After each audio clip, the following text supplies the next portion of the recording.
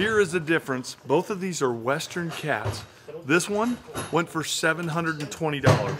This was actually the high cat of the auction this morning. This one went for $50. So it's actually a Western cat as well, but you can see the difference not only in presentation, but in the size of this cat.